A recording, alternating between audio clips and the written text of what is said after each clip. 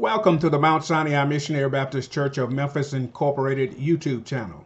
Thank you so much for choosing to spend a little time with us in viewing our Thursday night Bible study. And it's my prayer that you will allow God's Word to order your steps to a peaceful and joyful future. Let us pray. Our Heavenly Father, help us to learn to accept your chastisements uh, so that we can appreciate the joy that you provide through correction. In Jesus' name we pray. Amen. Our subject for tonight is nighttime sorrow uh, and daytime joy. Nighttime sorrow and uh, daytime joy. The idea uh, behind this, uh, what I'm trying to convey, is uh, kind of like when you look at nighttime, it's darkness or sorrow. But then after nighttime comes daytime. Nighttime transitions into daytime, uh, daytime joy or light. Uh, it's difficult to walk in darkness, but if you learn to, to stick with the light, then you will have much joy. But if you hang out in the dark, sorrow will uh, discover you there and hang out with you. Uh, our uh, text for tonight is one that's for very familiar. I suggest or recommend that you read uh, Psalms 30, verse 1 through 12, but we're only going to read uh, verse 5, a very familiar uh, scripture. And uh, but to have a fuller understanding, I recommend verse 1 through 12. Verse 5 says, For his anger is but for a moment and his favor is for a lifetime. Weeping may endure or tarry for the night, but joy comes in the morning. The more and more that I read God's word, the more I'm learning that whenever you see the word but, most of the time it's an indication that God is getting ready to change things. He's getting ready to transform uh, you or to make things different in your life. And in this case, he's talking about light, darkness to light. He's talking about sorrows to joy.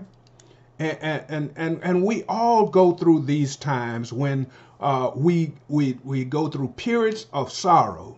But then uh, my philosophy is always outlast the bad, and joy will come in the morning. Uh, Again, our subject is nighttime sorrow and daytime joy. Joy comes with the morning is a psalm of Davis, David, uh, and uh, have you ever been through what seems like hell, purity hell, when you finally made it to the Lord's house?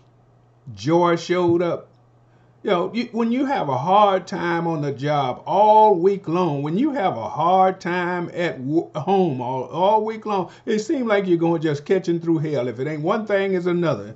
And when you can finally make it to the Lord's house on Thursday night or Wednesday night, whenever your Bible study might be, or on Sunday morning, that's when you have your breakthrough you, you might have been going through all kinds of hell and not having any kind of joy or any kind of peace, but on Sunday morning, things change simply because you feel that you're closer to the Lord. It's as though we can then say, I still have joy. For some of us, uh, it's uh, something about being in the Lord's house that changes our outlook on our situations, or at least for a little while. Each of us lives uh, lives that are filled with times of darkness. Darkness can come in many forms. Darkness can come because of a death of a, a friend or a loved one. Death can come uh, from the unexpected uh, things that just come out of nowhere. Darkness can come when you meet with an unexplained, unplanned accident. Darkness can come when you are informed that the company you've been employed for, at for years uh, will soon be shutting the doors. Darkness can come when when uh, the the largest company in a small town is ro- relocating, and all of a sudden darkness can affect a whole town. Darkness can come when sickness turns uh, our lives upside down. But one good thing about darkness is that the the things that darkness is associated with in it, it, it, is that we who serve the Lord, it will be transformed into light. Romans chapter 8, verse 28 says, We know that all things, not some things, not most things, not a few things, but we know that all things work together for good to them that love God, to them who are the called according to his purpose. God has a plan and a purpose for each of our lives, and it is to do us good and not harm. To have, he, has planned for us to have a, a good future. But thanks be to God that those dark times do not last always. Grandmama used to say, I'm so glad that trouble don't last always. You might remember Joseph when his father made him a coat of many colors and that brought uh, on the jealousy and envy of his brothers. His dreams even set the whole family against him. When the Lord's favor uh, you with his blessings, it can cause even those close to you to hate you and hate you even that much more. Uh, back in the uh, uh, 80s, early 80s, there's a guy, a secular music uh, uh, performer by the name of Richard Dimples Fields. Some of you might remember him. He, he uh, was an R&B singer, and he did a song titled, If It Ain't One Thing, It's Another. He said, I'm making this song for all the people who at times in their lives feel bad go through some things. He said, You know when you feel like even your blues have the blues. oh, Lord, that's feeling bad. That's dark time. If we would just keep the faith like Joseph did, then the day uh, of light that symbolized for joy will come. Sorrow brings the opposite acceptance of joy. Uh, sorrow can bring uh, down feelings, a hurt, a broken heart. Sorrow can bring worry and, and discomfort with your life. Sorrow can bring doubt and, and, and a loss of hope, if not all hope in your life. But joy says that there's a brighter day a dawning. And I'm, I plan on being around for that brighter day. Weeping may endure for a night, but joy, you know it, comes in the morning. Most, if not all of us, would prefer joy over sorrow at any given time. Even though there are those who become accustomed to misery as long as they have company. No one becomes accustomed to sorrow. It's difficult to accept defeat or failures or injuries or and so on. None, none of us will become used to the sorrow that comes with losses in life of someone near and dear to us a mother, a father, a sister, a brother, a close friend. I, I remember uh, a few years back, I was on vacation, was visiting my son in uh, uh, Maryland, and I got two phone calls. One one day uh, uh, about uh, one o'clock, and the next one, or maybe two days later, early in the morning. And uh, one was the first one was the death of a really close friend, high school friend. We had gone through life together. We used to play basketball at his house in the afternoon after school. Uh, we played baseball together. We joked together. We laughed together. We had good times together. Uh, but and then the, the, a few days later, got a phone call that a young fellow that had so much uh, going for him in life that was uh, that was a, a good friend of, of, of, our family. I can remember sitting down talking to him one night, and uh, uh, we just had a good conversation about his outlook for the future. And I said, This young man is going somewhere. He has a bright outlook for his future, and it's positive. And, and, and then all of a sudden, I get a phone call that he was gone. Uh, that was unexpected sorrow. And, and, and unexpected sorrow can hurt uh, just about as bad as any kind of sorrow. Most likely, you looked for uh, something that you lost. I'm not talking about a, a, loved one or close friends that, that passed, but uh, perhaps you lost an object or something that was very important to you. And you look for it feverishly expecting to find it like the lady in the parable of the lost coin did. A new day brings new opportunities instead of another opportunity to be sad and sorrowful. Look at life as each new day brings an opportunity for a fresh start and another chance at life. Another opportunity to do it over. This is another Thursday night for me to do it again to try and be better and better. It's an opportunity. A new day announces the end of night or what you've been going through or dark time in our lives. There is a transition from night to morning, as stated in verse 4 and 5 of the 30th number of Psalms. The Psalms is not only David's personal expression of of, of praise and thanksgiving, but it was also used by the congregation in worship. And here David addresses them. Joy should not be a selfish act, but a personal joy should lead to a co- corporate joy. Joy should be contagious.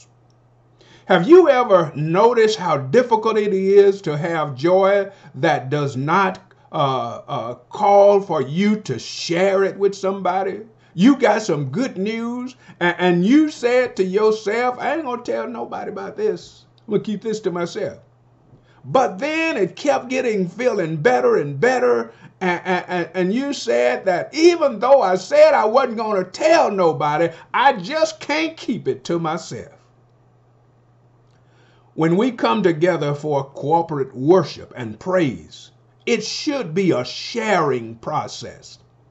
We should join together in sharing the joy that the Lord has given us a chance to be in the number one more time. Joy should give us an occasion to gather to share the goodness of the Lord. Psalms 34, verse 8 says, Oh, taste and see that the Lord is good. Blessed is the man or woman who takes refuge in him. And then, oh, magnify the Lord with me cooperatively, and let us exalt his name together.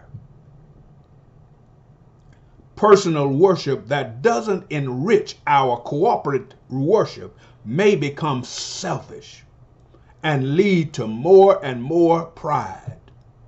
When our personal intentions in worship is to impress somebody, our personal worship will be selfish and full of pride. The contrast between verse 5 uh, uh, shows us that the motivation for David's praise, it says, for, uh, uh from God's anger to God's favor, from chastisement for, that will last only for a moment to a lifetime of his grace. My grandmother used to tear my behind up when I was a child. And my mother, I can't remember her whooping me but one time. But that one time was enough for a lifetime. but then that, that what, what I'm trying to say is those whippings only last just a little while. And then before you know it, I was out in the yard playing, having fun uh, before long. Isaiah chapter 54, verse 7 through 8 says, From a night of weeping to a morning of joy. And then Isaiah chapter 54, verse 7, uh, uh, let's see, verse 7 and 8 says, For a brief moment I, I deserted you. And I believe this is God talking to Isaiah. For a brief moment I deserted you, but with great compassion I will gather you. And then verse 8 says, In overflowing anger for a moment, I hid my face from you. But with everlasting love, I will have compassion on you, said the Lord your Redeemer. For David, this was the dawning of a new day after a painful time of suffering in his life that had been a time of darkness. Each morning with God's mercy are new. As Lamentations chapter 3 verse 22 and 23 says, God's mercy is brand new every morning and God's special help often arrives in the morning. Hallelujah. Uh, let's see, where was I then? Lamentation uh, chapter three. Let's read. Let's read a little of uh, those those uh, two verses. Lamentation chapter three, verse twenty-two and twenty-three in its entirety. It, verse twenty-two says, "The steadfast love of the Lord never ceases; His mercy never comes to an end." And this is the English Standard Version. And verse twenty-three says, "They are new every morning." Great is your faithfulness, O Lord. Weeping comes into our lives as a guest visiting. But God's gracious favor is with us for a lifetime. You know how it is. If a person is a guest in your house, you don't expect them to stay always. You, you expect them to, to have a end point when they come in or a leaving point my youngest son used to have a bad habit, and we it took a long time. I don't know if we ever broke him of it, but somebody come to visit. He his his question always was, uh, "When are you going home?" and and and and that's that that's okay for guests. You shouldn't expect them to stay, to move in. But God's grace and mercy that's what you want to move in. Joseph, getting back to him just briefly, reached a point in his life when he was able to say to his brothers that grew to hate him more and more. He said to them in Genesis chapter 50, verse 20, As for you, you meant what you were doing to me uh, uh, for evil. But, that is the, that word is again, but God is getting ready. And God will turn things that people are doing to you around. As for you, you meant it for evil against me, but God meant it for good. To bring about that many people should be kept alive as they are today. God always has a good purpose for allowing suffering and sorrow to invade our joy for a little while. Romans chapter 5, verse 3 says, Not only that, but we rejoice in our suffering. And that's a place that, that, that every believer, every follower of Jesus Christ must get to. That you rejoice in suffering, knowing that suffering produces endurance. God has a purpose. And endurance produces character, and character produces hope. And then first, um, Second Corinthians, rather, chapter four, verse fifteen says, "For it is all for your sake." so that grace extends to more and more people in, in, in, in it may increase thanksgiving to the glory of God. Have you ever thought about the fact that that that the, the, the more grace God extends to you, the more he expects you to extend to others, the more he forgives us, the more he expects us to keep passing it on and teaching uh, generations after generation as the Lord has forgiven you, so you must forgive others, even your enemies. Do good to those that despitefully use you. And, and then uh, uh, verse uh, 16 of Second Corinthians chapter 4 says, So we do not lose heart. We don't give up. We don't throw in the towel. Though our outer self is wasting away, our inner self is being renewed day by day. For this light momentary affliction is preparing us for an eternal weight of glory beyond all comparison. And as we look not at the things that are seen, but at the things that are unseen, for the things that are seen are transient. But the, th the, the, in other words, just for a little while. But the things that are unseen are eternal. As Jesus explained to his disciples, God doesn't replace sorrow with joy. He transforms sorrow into joy if I was at Mount Sinai now, I'd say, Can I get a witness? Jesus taught his disciples, and, and, and we are all followers of Jesus Christ. We are all his disciples. We are learners of Jesus Christ. God doesn't replace sorrow with joy, He transforms sorrow into joy. Hallelujah. John chapter 16, verse 20 says, Truly, truly, I say to you, you will weep and lament, uh, uh, but the world will rejoice. And you will be sorrowful, but your sorrow will turn into joy. When a woman is giving birth, she has sorrow because uh, her hour has come. But when she has delivered the baby, she no longer remembers the anguish and the pain, for joy that a human being has been born into the world. Verse 22 says, So also you have sorrow now, but I will see you again, Jesus is telling his disciples, and your hearts will rejoice, and no one will take your joy from you. Woo wee! No one will take your joy from you.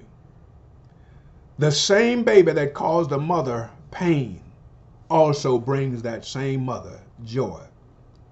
The death of our Lord and Savior Jesus Christ on Friday, one Friday, years and years ago, brought darkness and it brought sorrow. It was very dark during the daytime. His disciples reverted back to their former lives without hope.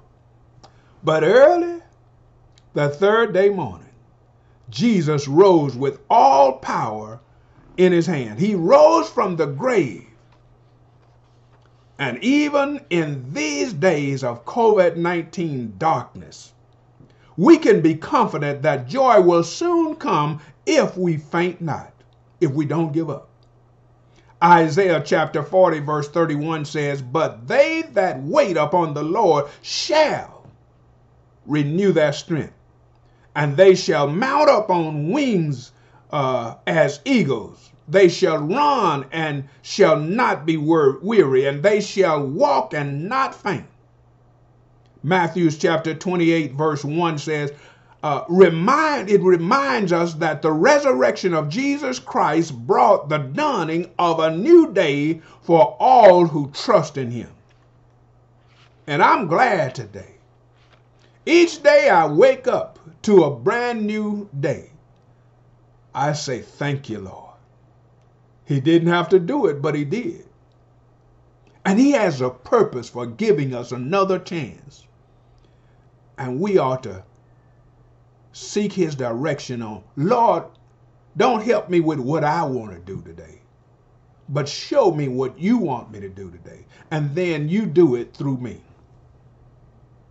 And you'll find that nothing and no one, or the lack of nothing, or uh, uh, uh, nothing that happens unexplainably uh, or unplanned, will be able to take your joy from you. That's all I got for tonight. Uh, let's pray. Our Heavenly Father, thank you for being our joy that makes all of our sorrows worthwhile. In the wonderful and mighty name of Jesus Christ, our Savior, we pray. Amen. Uh, even though for a little while, until we learn to appreciate joy, it appears that sorrow, the sorrow of COVID 19, is going to be a while longer with us. So wear a mask.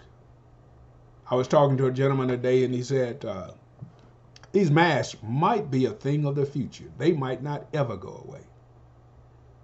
So, whatever you have to do day by day to stay safe and to help others to be safe, don't be selfish. Do it.